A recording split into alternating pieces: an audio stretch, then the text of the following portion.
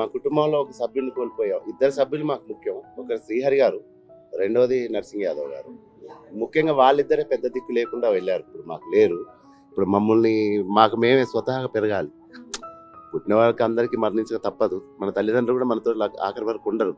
తర్వాత generation chain మారుతూ ఉంటుంది. అదే విధంగా ఫీల్ అవుతున్నాం. కానీ ఎవరి టైం అయితే చెప్పలేము. కానీ మా ఇండస్ట్రీకి ఒకలాంటి దిష్టి తగిలిందండి. ఇది మాటల రూపంలో చెప్పలేము. ఇటీవల కాలంలో చాలా మందిని మనం కోల్పోతున్నాం. ఆ, ఒక దిష్టి తగిలింది. దానికి ప్రతిఫలం ఏంటో తెలియదు. కరోనాకు ముందు నుంచి కూడా కరోనా తర్వాత కూడా మాకు చాలా అన్యాయం అయ్యాం. ఆ, మా సినిమా ఇండస్ట్రీకి ఒకలాంటి దిష్టి తగిలిందండి. ఈ యాగం చేయాలి యజ్ఞం చేయాలి అని అంటారు కదా అది ఎవరో మహానుభావులు ఎవరో ఒకరు జరిపించాలి. హోమం చేసుకోవాలి. మా ఇండస్ట్రీ మీద ప్రతి ఒక్కరం కలిసి చేసుకోవాలి. మీకు ఎలాంటి సంబంధం ఉందండి? చాలా పెద్ద వ్యక్తి ఏది ఉన్నా సినీ ఆర్ట్ సినీకి సినీ ఆర్టిస్ట్కి పరిచయం చేసిన వ్యక్తి ఆయననే. ఏమన్నా మూవీ ఆఫర్స్ ఉంటే చెప్తుంటారండి ఇది ఉంది ఇది ఉంది ఖచ్చితంగా ఏదైనా పొరపాటు ఉంటే నచ్చ చెప్తాడు. ఇది చేయొద్దు అని చెప్తాడు. ఏదైనా ఉన్నా కూడా మనకు దగ్గరుండి సంజాయించి పెద్దరికంతో ఇలా కాదు ఇలా నడుచుకోమని చెప్తాడు. ఏ తప్పు చేసినా ఇంటికి పిలిపించి మరీ నచ్చ చెప్పి దాన్ని తప్పు సరిదిద్దుకునే భావిస్తాడండి. ఈ రోజు మేము జీర్ణించుకోలేకపోతున్నామండి. అవునండి అసలు మాకే ఇంత బాధగా ఉంది అంటే మీరు ఇంకా చాలా చాలా బాధపడాలి బాధపడుతున్నామండి మల్లేష్ గారు మీరు కూడా మూవీస్లో నటిస్తుంటారండి? చేస్తాను ఆ, మీకు ఎలాంటి ఆ, అనుబంధం ఉందండి? అనుబంధం అంటే ఇంకా చెప్పలేమండి. ఒక అన్నదమ్ములు లేక అను- అనుబంధం అది. ఇంకా ఇంకేం చెప్పలేనండి. ఆ అన్న లేడు అంటే నాకే చాలా ఏ- చాలా ఏం చెప్తానండి? చాలా ఏం చెప్ప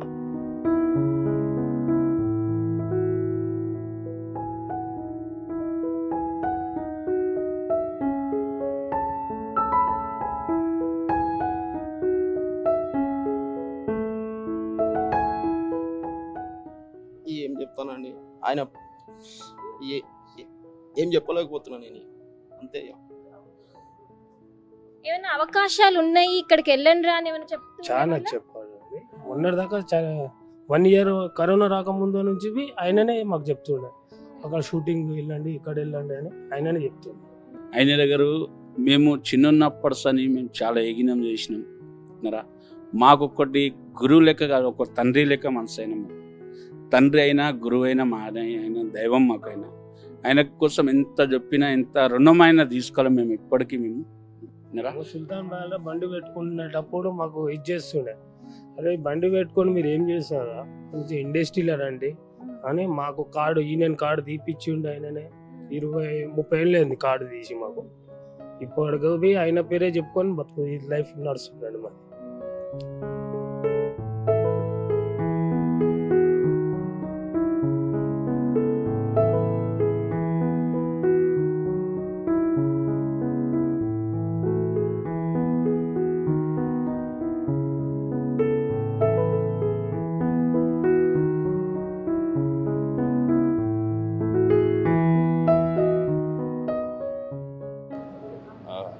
నర్సింగ్ యాదవ్.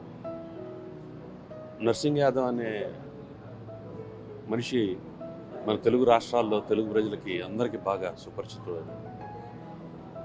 ఒక నటుడుగా అందరికీ తెలిసిన ఆయన.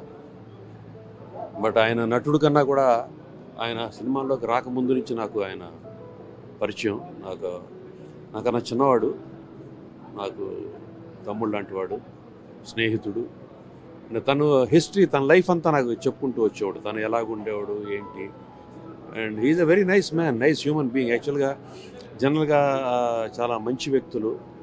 కొన్నిసార్లు కొన్ని చోట్ల కొన్ని లైఫ్ ఇన్సిడెంట్స్ వల్ల కొన్ని చోట్ల ఉండాల్సి వస్తుంది. సో అలాగా నర్సింగ్ యాదవ్ అనే మనిషి తన చిన్నతనం కానీ తన యంగ్ డేస్లో కానీ he was in maybe in not a right way but దాని నుంచి బయటకు వచ్చి సినిమాల్లోకి వచ్చి చాలాసార్లు చెప్పాడు అన్న నేను మాకేంటన్నా ఇలాగన్నా అలాగన్నా ఇప్పుడు బాగున్నానన్నా అది ఇది అని. Sir so basically very nice man చాలా మంచి వ్యక్తి.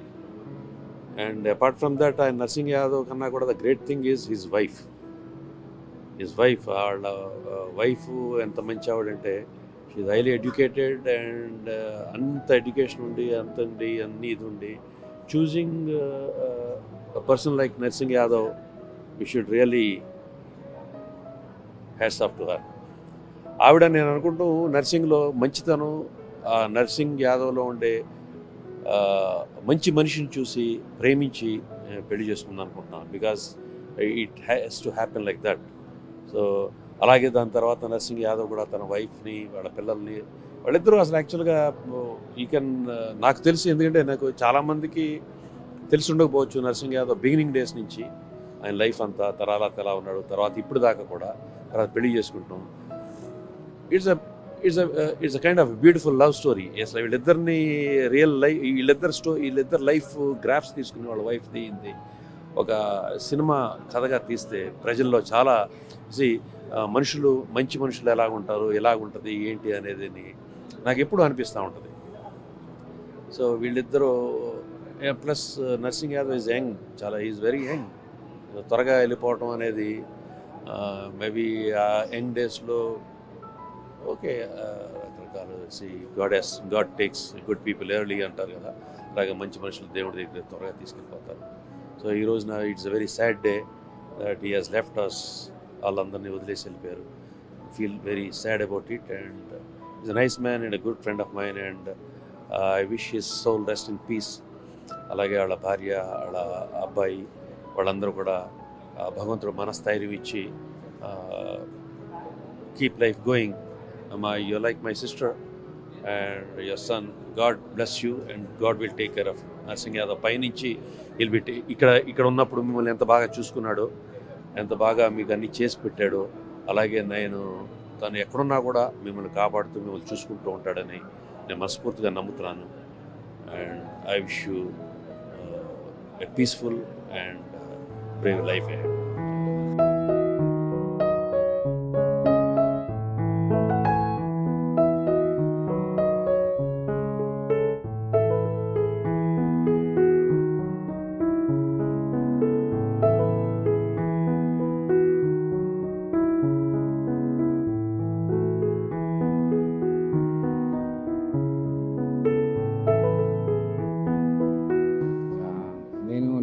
Narsing గారితో సినిమాలు ఏం చేయలేదండి. నా దురదృష్టం అది ఆయనతో కలిసి యాక్ట్ చేయలేకపోవడం. బట్ ఆయన చాలామందికి ఒక దారి చూపించారు. అంటే కమెడియన్ అంటే కామెడీ ఫేస్ ఉంటేనే కాదు ఆర్టిస్ట్ అయ్యి కొంచెం రఫ్ ఉన్నా సరే కామెడీ చేయొచ్చు అనేది ఆయన ఆయన ద్వారా అందరికీ తెలిసింది. సో ఆయన సినిమాల్లో సీరియస్ విలన్గా ఉన్నా కూడా ఆయన కామెడీ టైమింగ్తో ఎంతోమంది నవ్వించారు. చాలా మంచి పరిణామం అది. అండ్ అలాగే ఆయన మన మధ్య లేకపోయినా ఆయన కామెడీ కానీ ఆయన వీడియో క్లిప్స్ కానీ మన మధ్యలో ఉంటాయి. సో ఆయన ఎప్పుడు మనతో ఉన్నట్టుగానే ఉంటుంది. ఆర్టిస్ట్ ఏ ఆర్టిస్ట్ అయినా సరే ఆయన ఒక శరీరం వదిలిపెట్టి వెళ్ళిపోవడమే కానీ ఒక ఆర్టిస్ట్కున్న అదృష్టం ఏంటంటే మనిషి ఇక్కడ లేకపోయినా ఆయన చేసిన సినిమాలు కానీ ఆయన చేసిన వీడియో క్లిప్స్ కానీ అన్నీ మన మధ్యలోనే రొటేట్ అవుతూ ఉంటాయి. శారీరకంగా ఆయన మన మధ్య లేకపోయినా కూడా ఆయన ఆయన వీడియో క్లిప్స్ కానీ ఆయన చేసిన కామెడీ కానీ ఆయన చేసిన సినిమాలు కానీ మన మధ్యలోనే ఉంటుంటాయి కాబట్టి ఆయన మనతోనే ఉన్నట్టుగా ఉంటుంది. Narsing Yadav is a very good senior artist. I know him very well since 20 years. He is very good cine artist and he worked in the cine industry long more. And due to ill health purpose, he was expired. Uh, I am sorrowing to him. May his soul rest in peace for him. I will be paying deep condolence to him, being our Suresh Yadav.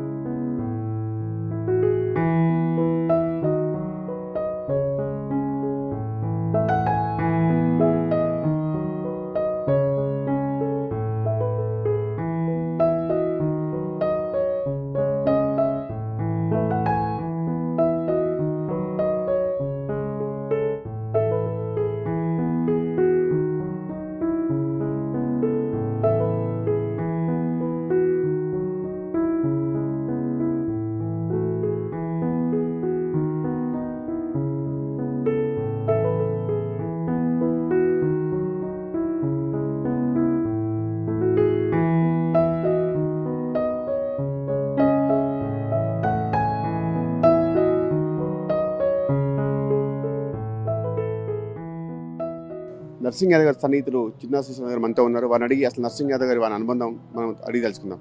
Sir చెప్పండి. నర్సింగ్ యాదవ్ చిన్న నాటి నుండి కూడా నా మిత్రుడు మా బంధువు కూడా.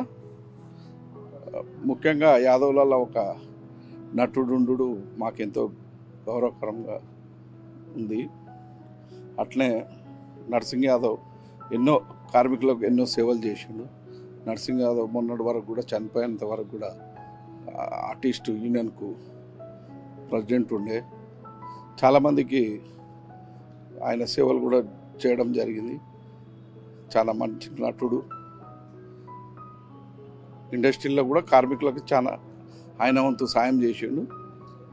ఆ మాటలో మంచి స్నేహితుడిని కోల్పోయినాం అన్నది బాధాకరం హ్యాబిట్స్ నర్సింగ్ యాదవ్ అంటే హైదరాబాద్ కాక ఉమ్మడి రాష్ట్రంలో కూడా ఒక ఆర్టిస్ట్ ఒక నటుడు కాదు ఒక హీరో ఒక ప్రొడ్యూసర్ లాంటి పేరు ప్రఖ్యాతిగాంచినటువంటి వ్యక్తి. అతను ఏంటంటే కోట్లు లక్షలు అనే ఉద్దేశం సంపాదించుకునే ఆశాభావేశ కాదు.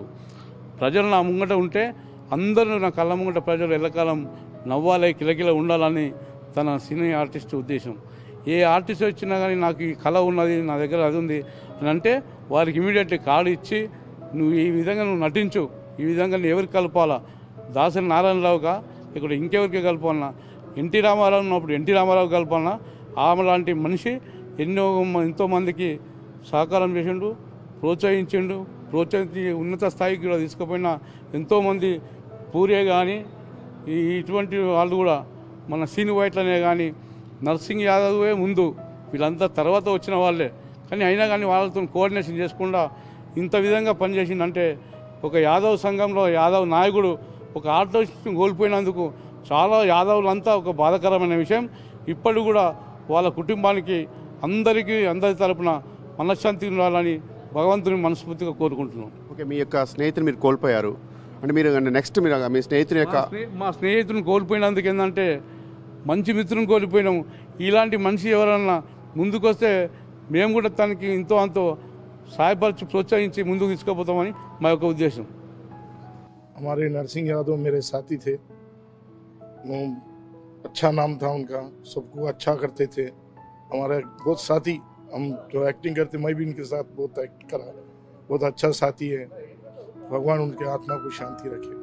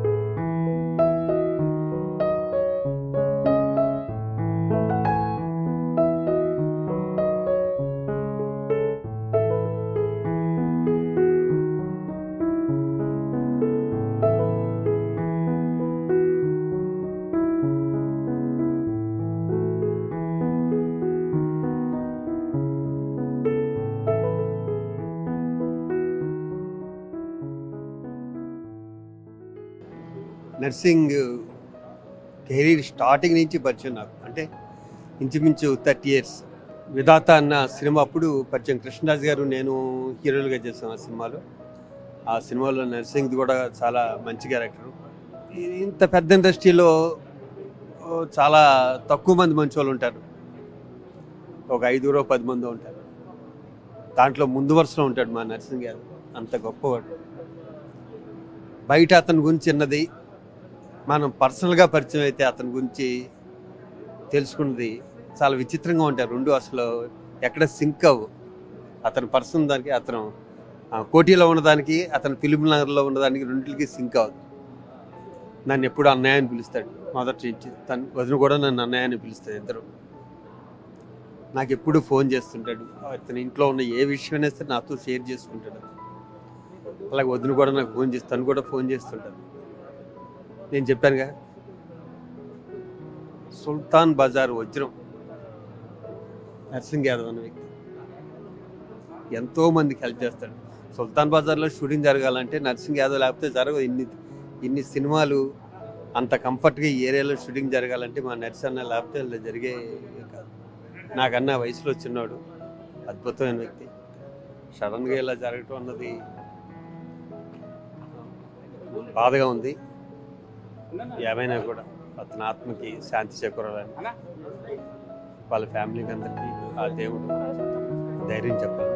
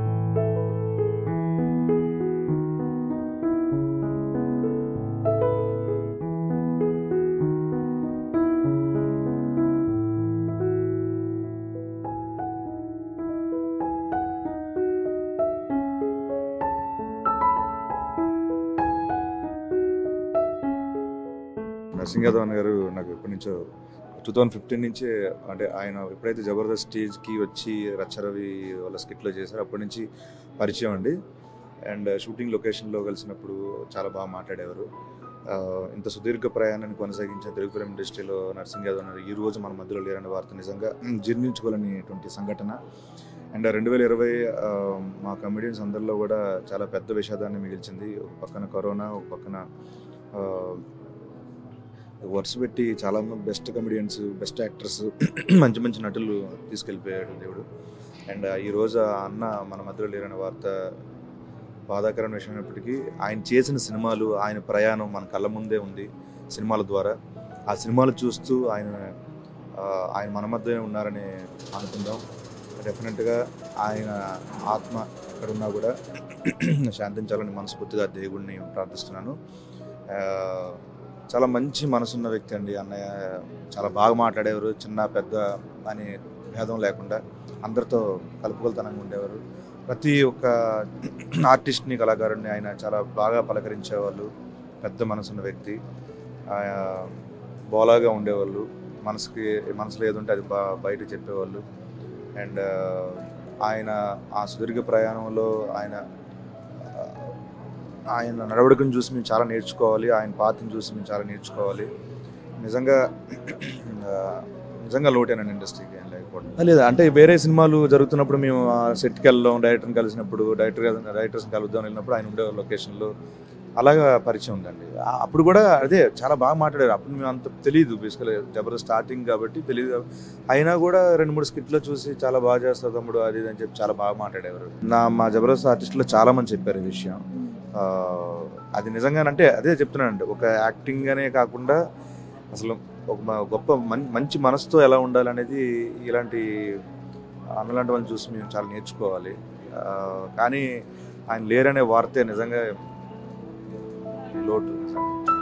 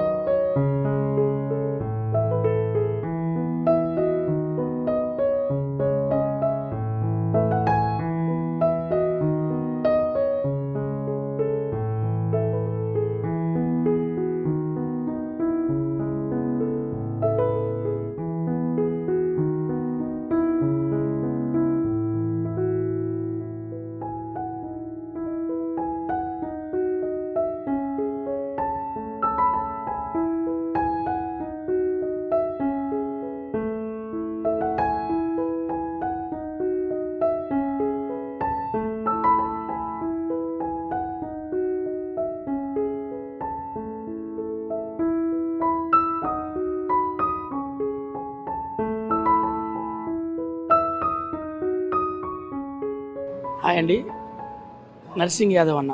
అంటే మేము చిరంజీవి గారి అభిమానిగా మేము సినిమాలు చూస్తున్న క్రమంలో రాంగుపాల్ వర్మ గారి మూవీస్లో ఒక గ్యాంగ్ ఉండేదండి. ఇప్పుడు ఎగ్జాంపుల్ ఉత్తేజ్ అన్న నర్సింగ్ యాదవ్ అన్న.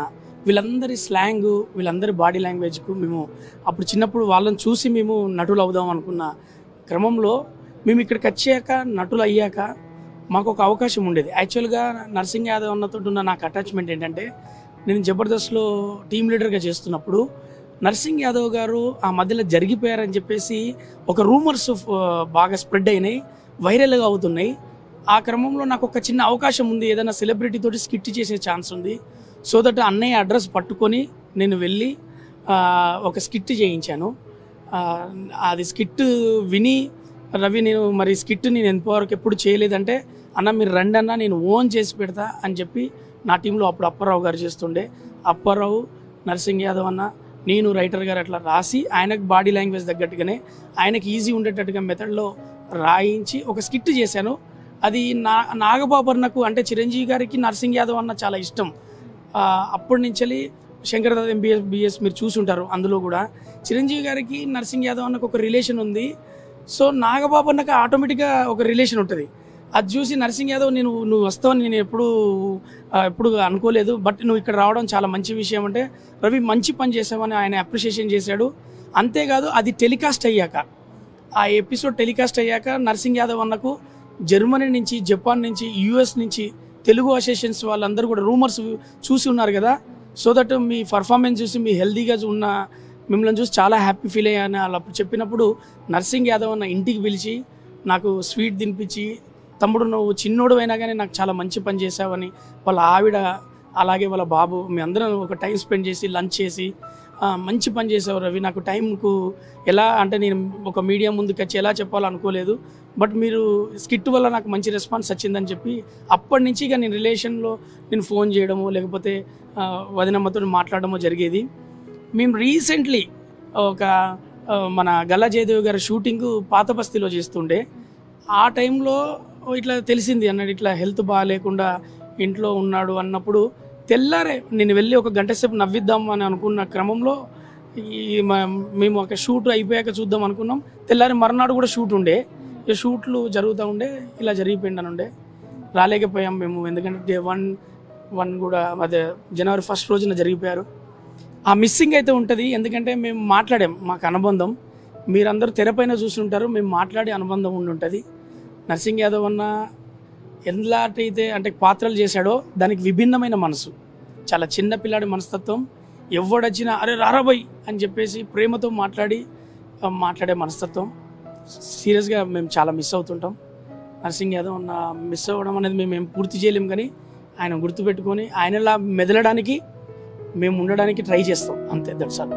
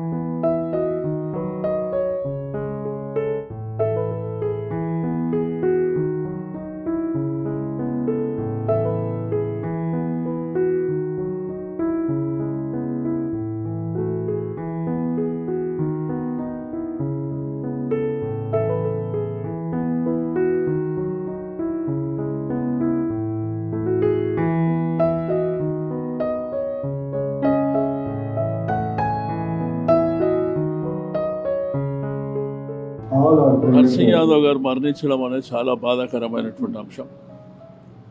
ఒక చిన్న కుటుంబం నుంచి అంచెలంచెలుగా పైకి రావడం రెండవది సుల్తాన్ బజార్ ప్రాంతంలో నర్సింగ్ యాదవ్ అంటే అందరికీ తెలుసు.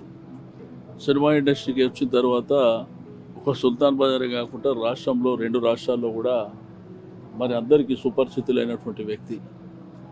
ఒకటి సినిమా రంగంలో ఒకవైపున తన ప్రొఫెషన్ని తను చేస్తూ తన కుటుంబాన్నే కాకుండా చాలామందికి తను ఒక ఆదర్శంగా ఉండడమే కాకుండా ఎవరికి ఏదన్నా అవసరం ఉన్నా కానీ మరి హెల్ప్ చేసేటువంటి వ్యక్తి. రెండోది అందరితో కూడా కలివిడిగా మాట్లాడుతుంది. అంటే తను ఒక ఆర్టిస్ట్గా ఎదుగుతుంటూ తన కింది వారిని కూడా ఆ స్థాయికి తీసుకురావడానికి ఎంతోమందికి లైఫ్ ఇచ్చినటువంటి వ్యక్తి. ఈరోజు ఇండస్ట్రీలో చాలామంది వస్తుంటారు పోతుంటారు కానీ తన చుట్టుపక్కల వాళ్ళు ఎవరైతే అప్కమింగ్ ఉన్నారో వాళ్ళకు కూడా తనకున్నటువంటి చనువుతోని కొంత డైరెక్టర్లు ప్రొడ్యూసర్లతో మాట్లాడి వారికి కూడా అవకాశం ఇవ్వడం. వాళ్ళు కూడా ఈరోజు చాలామంది. కాబట్టి తనకు అభిమానులు కూడా చాలా ఎక్కువ. ఒకప్పుడు సుల్తాన్ బజార్లో నర్సింగ్ యాదవ్ అంటే అందరికీ సుపరిచితుడు అయినప్పటికీ సినిమా ఇండస్ట్రీకి వచ్చిన తర్వాత తెలుగు రాష్ట్రాల్లో తనకంటూ ఒక ప్రత్యేకమైనటువంటి స్థానాన్ని కల్పించుకోవడం. మరి అనివార్య కారణాలు ఈ కరోనా వైరస్ మధ్యలో తను సిక్ కావడం బట్ వారి యొక్క ఫ్యామిలీ మెంబర్స్ కూడా చాలా వరకు ప్రయత్నం చేశారు. అంటే హాస్పిటల్స్ హాస్పిటల్లో నిరంతరంగా ఒకవైపున డాక్టర్లు రెండోది వారి యొక్క కుటుంబ కుటుంబ సభ్యులు కూడా తనని బతికించుకోవాలని ఎంత ప్రయత్నం చేసినప్పటికీ విధి మన చేతిలో ఉండదు విధిని మనం ఎవరు మార్చలేము కాబట్టి నర్సింగ్ యాదవ్ గారు మరణించినా కానీ ఎప్పుడు ప్రజల గుండెల్లో ఉండేటువంటి వ్యక్తి.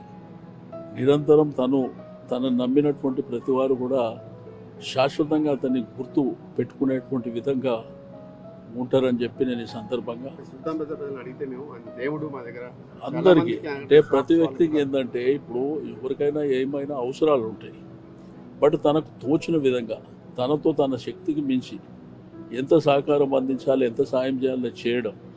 తనతో కానప్పుడు ఇతర వ్యక్తుల ద్వారా అతనికి ఏదైనా హెల్ప్ జరుగుతుందంటే వాళ్ళ దగ్గరికి తీసుకెళ్ళి హెల్ప్ చేయించడం అనేది కూడా ఒక మంచి లక్షణాలు ఉన్నటువంటి ఇప్పుడు చాలామంది ఏంటంటే సెల్ఫిస్ట్ చాలామంది ఉంటారు.